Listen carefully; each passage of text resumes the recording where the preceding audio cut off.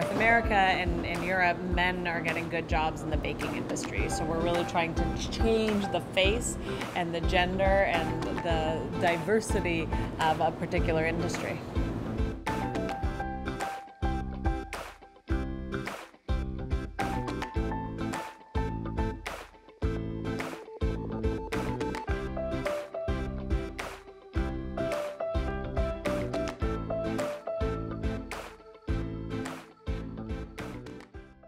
When I first came to Hot Bread Kitchen, I was so afraid to speak English in front of people because I think they're gonna be laughing at me because I'm not speaking good English or maybe because of my accent. So in this sentence, what's my conjunction?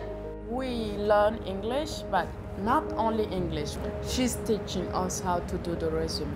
We also learn about baking science.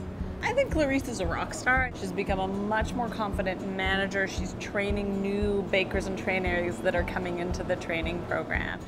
I wasn't sure how I'm gonna do it, but actually here I know how I'm gonna do it to own my business.